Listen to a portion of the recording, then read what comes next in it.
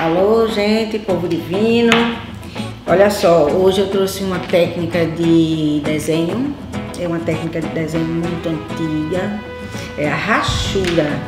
A rachura é uma técnica que dá volume, ela trabalha com sombreado e ela é feita com uma canetinha. Essa canetinha aí, Bic, da mais simples que tem, a gente faz todo um trabalho.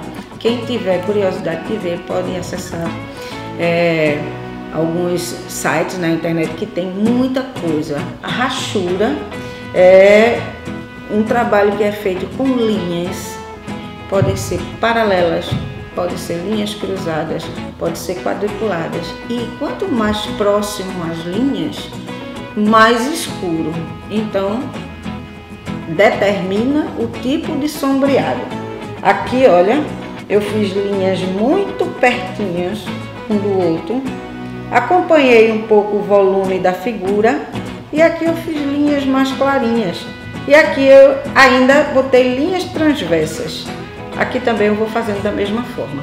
Então, esse, essa técnica, ela serve justamente para isso, para dar volume e para dar a plasticidade do trabalho que a gente está fazendo. Isso é muito usado na, nos heróis de quadrinhos, nos, nos desenhos de mangá também é muito usado e a internet está cheio disso aí. Observem que o nome rachura não é com A, é com H. Vem de rache, é do francês, é, rache, rache que é machado. Então, como se fosse é, é, fissuras. Então, rachura. Quando a gente vai fazer um trabalho com rachura, diz que vai rachulhar o trabalho, tá bom? Então, eu vou fazer um desenho aqui juntinho com vocês, para vocês verem como é que se faz devagarinho, vamos observando e aí vocês vão poder fazer junto comigo, pausando o vídeo, olhando direitinho e vale a pena tentar, porque é uma técnica bem interessante. Bom, gente, eu vou começar fazendo aqui um desenho, que eu já fiz aqui um esboço. Vocês sabem que para fazer o trabalho de desenho, sempre a gente vai fazer um esboço.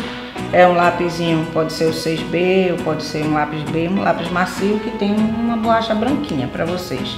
Então, o esboço a gente sabe que são linhas bem claras, que são traços soltos, nada muito bem definido, chama-se o esboço por isso, é só uma ideia do desenho e eu fiz aqui um personagem é, é um duende aí, eu não sei direito que personagem é esse, mas vai valer a pena a gente fazer a técnica da rachura.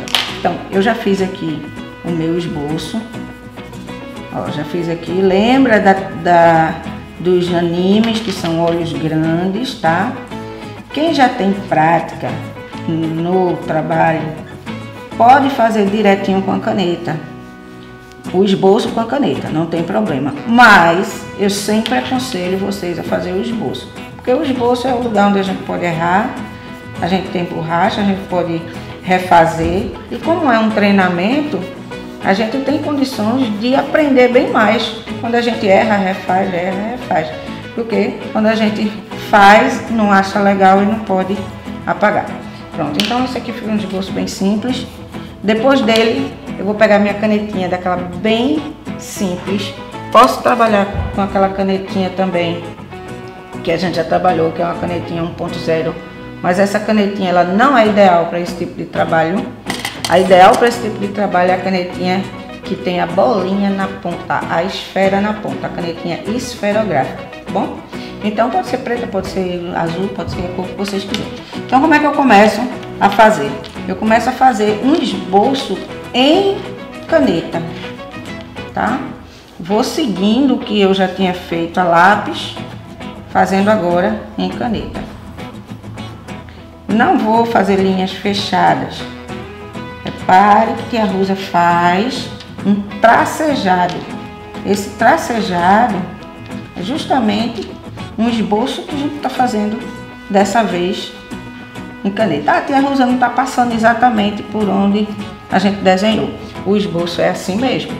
O esboço ele trabalha na no bom senso. Eu fiz várias linhas, vou passar aqui por onde eu acho que ficou melhor. Então, esse meu trabalho que eu estou fazendo aqui ainda não tem plasticidade nenhuma. Eu não estou usando ainda a rachura. Eu só estou esboçando, tá certo? Estou esboçando com a caneta, é para que a gente possa visualizar melhor o trabalho que a gente vai rachurear, tá certo? Então, onde eu quero que fique mais escuro, eu vou fazer bastante linhas. Uma juntinha da outra. Bem juntinho, bem juntinho, bem juntinho, bem juntinho. Ó, aqui. Percebam que eu não estou pintando. Eu estou rachureando. Se eu quiser que fique mais escuro ainda, eu posso fazer linhas transversas. Olha. Quero fazer essa parte bem escurinha. Posso dar um reforço aqui. Até ficar azulzinho mesmo. Então, faço a mesma coisa do lado de cá. Eu levanto a caneta e venho de novo. Eu não vou fazendo assim não, porque assim eu não tenho umas linhas paralelas perfeitas do jeito que a rachura pede. Então eu vou tirando a caneta e colocando de novo. Olha. Certo? Então esse é o tom escuro que eu consigo com a rachura. Eu quero fazer aqui um, uma coisa mais leve. Olha. Pronto. Aqui também quero fazer uma rachura mais leve. Eu dou leveza na caneta e dou distância entre os traços.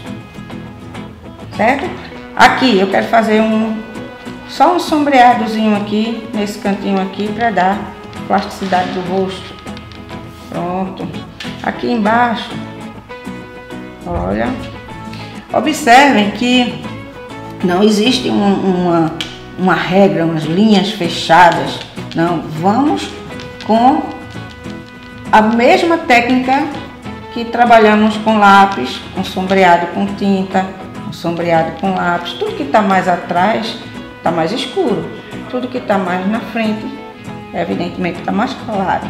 Então, vou aqui um pouquinho aqui. Tá então, tudo que eu faria com o lápis, eu vou tracejando com a caneta. Então essa é a forma da gente fazer o trabalho de rachura. Olha, aqui eu praticamente fiz quadrados. Percebam que eu já tenho uma tonalidade diferente aqui, aqui, aqui, aqui e aqui. É certo, gente? Então, é dessa forma que você vai conduzir seu trabalho. Então, eu quero ver vocês treinando, tentando fazer. Não achem que é difícil demais, porque não é. E depois vocês vão perceber que é uma técnica muito boa. Aqui eu já estou dando a forma que eu tenho aqui na minha, cabelo. São linhas com, é, paralelas, é, curvadas. Não se diz paralelas curvadas, né? Mas são linhas que não se encontram curvadas para dar esse efeito aqui no meu cabelo. Tá certo? Tem paisagem, tem coisa muito legal que se faz. Tá bom? A Rosa vai terminar o desenho e depois mostra para vocês.